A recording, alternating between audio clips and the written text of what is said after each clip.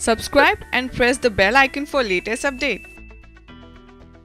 Social media पर एक video viral हुआ है, जिसमें 16 साल की एक लड़की ने आरोप लगाया है कि बीजेपी में शामिल होने के बाद उसके पिता को सीपीएम यानी कम्युनिस्ट पार्टी ऑफ़ इंडिया के स्थानीय कार्यकर्ताओं ने जान से मारने की धमकी दी है पुलिस ने इस मामले को लेकर चार लोगों को गिरफ़्तार भी किया है मामला है सुदूर उत्तरी ज़िले में, किन्नौर करीतलम पंचायत की रहने वाली लड़की का। जी हाँ कक्षा ग्यारहवीं की छात्रा बताई जा रही है कि उसके पिता सी के सुकामरन हाल में भाजपा में शामिल होते जिसके बाद मार्क्सवादी पार्टी के स्थानीय कार्यकर्ता उन्हें धमका रहे हैं।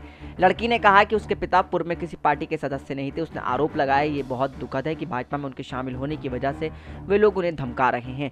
ज़िले के एक शीर्ष पुलिस अधिकारी ने बताया कि सुकू मारन ने पुलिस में एक शिकायत दर्ज कराई और इसके आधार पर चार लोगों के खिलाफ धमकी देने गलत तरीके से रोकने के आरोप में मामला भी दर्ज कर लिया गया है। एस पी न्यूज़ रूम की रिपोर्ट।